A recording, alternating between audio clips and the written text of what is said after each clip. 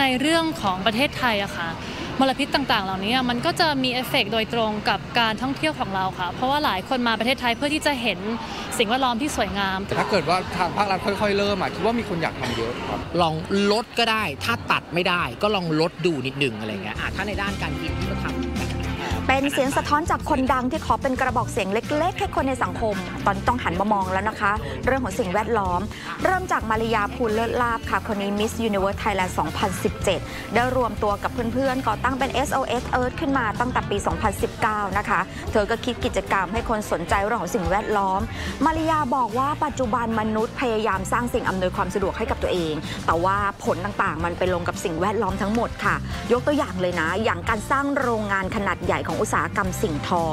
ก็ต้องใช้ทรัพยากรน้ำปริมาณมากนะคะ มีการย้อมสีฟอกสี มีการปล่อยสารเคมีลงสู่แม่น้ำเกิดเป็นมลพิษทางน้ำอีก วงจรนี้แก้ไขยากมาก แล้วก็ยังมีอุตสาหกรรมอาหารฟาร์มเลี้ยงไก่ ใช้พื้นที่เยอะนะคะ เพื่อผลิตอาหารซึ่งส่วนใหญ่พื้นที่สำหรับสร้างฟาร์มเกิดจากการตัดไม้ทำลายป่า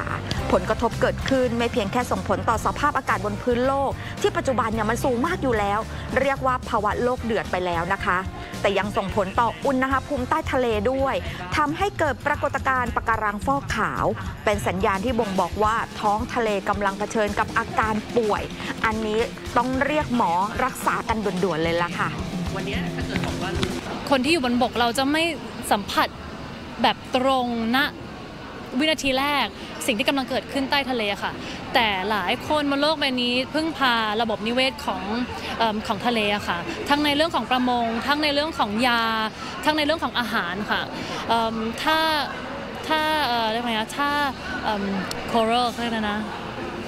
อ๋อถ้าปะการังฟอกขาวอะค่ะ มันก็กระทบบ้านของสัตว์น้ำต่างๆ เพราะฉะนั้นมันก็จะมันมีหลายเลเวลมันเป็นพีระมิดมันเป็นมันเป็นวงจรนะคะถ้าถ้าหนึ่งหายไป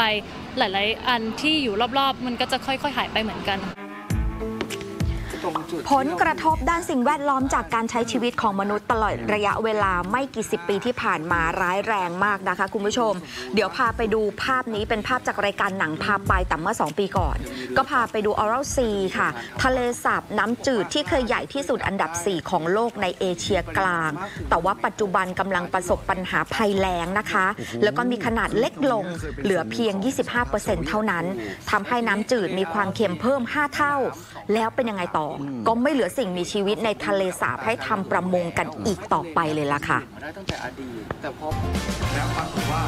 ซึ่งบอลทายาทเดชเสถียรและพี่ยอดพี่สารแสงจันทร์ก็บอกว่าคนรุ่นหลังในพื้นที่ทะเลสาบออรซีเนี่ยบางคนอายุเกิน 40 ปีแต่ ก็ไม่เคยเห็นทะเลสาบนี้แล้วนะคะ มันกลายเป็นตำนานไปซะแล้ว เพราะว่าฝีมือมนุษย์ในยุคที่อุตสาหกรรมเฟื่องฟู ซึ่งสมัยนั้นบริเวณภูมิภาคนี้ทำอาชีพปลูกฝ้าย เอามาทำเสื้อผ้าค่ะทำให้ต้องใช้น้ำเยอะ ก็สะท้อนให้เห็นว่าโลกที่เกิดมาก่อนมนุษย์หลายร้อยล้านปี มันก็เสียหายได้ในระยะเวลาแค่ประมาณ 10 กว่าปีนี้แหละ และจากการกระทำของมนุษย์จริง ๆล่ะค่ะก็อย่างที่อุซเบกิสถานที่ไปเจอครับเรา เรารู้สึกว่าจริง ๆ นโยบายด้านสิ่งแวดล้อมเขาก็ยังไม่ได้ทำแบบเข้มข้นมากเนอะเพราะว่าด้วยความที่พอทะเลสาบมันหายไปอะสิ่งที่สิ่งที่ตามมาก็คือความยากจน พอเขาเขาอยู่ไม่ได้ด้วยตัวเองมันกลายเป็นพื้นที่ที่ยากจนที่สุดในภูมิภาคตรงนั้นนะครับทำให้เรื่องสิ่งแวดล้อมอะไรเขาก็จะขยับช้า มันอาจจะทำให้เห็นได้ว่าประเทศที่ที่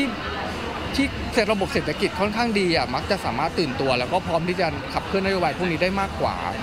การที่ไปเห็นทะเลสาบหายไปอะเราอาจจะยังไม่เห็นการเปลี่ยนแปลงในพื้นที่รอบๆได้ชัดเจนนะครับแต่จริงๆมันก็คือส่วนหนึ่งของโลกอะมันก็รู้สึกว่าจริงๆเราเองก็ต้องต้องขยับอะไรบางอย่าง ด้วยเพราะว่าทะเลสาบใหญ่ขนาดนั้นมันยังหายไป สิ่งที่มันเกิดขึ้นใกล้ๆบ้านเราต่อไป มันอาจจะเกิดขึ้นแบบนี้ก็ได้หลายมิติ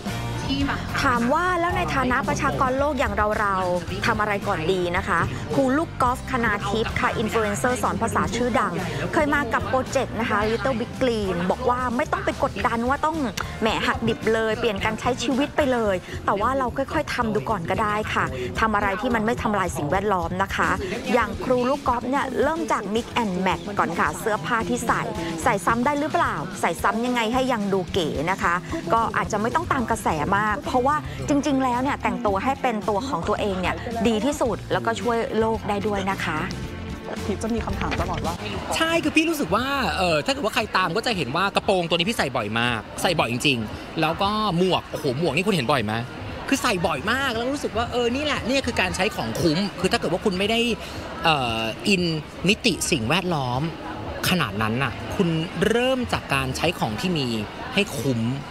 ก็ได้ คือต่อให้มันไม่ช่วยโลกเอางี้เนาะถ้าคุณรู้สึกว่ามันไกลตัว มันช่วยเรื่องกระเป๋าตังค์ของมันช่วยเรื่องการสบายกระเป๋า ถ้าเป็นถูกไหมถ้าเป็นเด็กๆดูอยู่อย่างเงี้ยถ้าคุณซื้อเสื้อผ้ามาแล้วคุณใส่ซ้ำมันมีอะไรที่คุณต้องเสียหรอนอกจากพ่อแม่ประหยัดเงิน สิ่งเดียวที่จะทำให้คนในสังคมเริ่มตระหนักกับเรื่องสิ่งแวดล้อมนะคะเซเลบทั้ง 4 ก็มองว่าอาจจะต้องมีกฎหมายเป็นรูปธรรมจากภาครัฐนะคะ รวมถึงเอกชน อันนี้ต้องร่วมกันจริงจังแล้วนะคะ ก่อนที่ประเทศไทยจะเผชิญปัญหาแบบเดียวกับภูมิภาคเอเชียกลางค่ะ โดยมาริยาเนี่ยเผยว่าปัจจุบันมีสัญญาณที่ดีจากคนในสังคมก็คือสนใจสิ่งแวดล้อมมากขึ้น เพราะว่าเอาจริงๆตอนนี้ทุกคนโดนผลกระทบหมดเลยนะคะ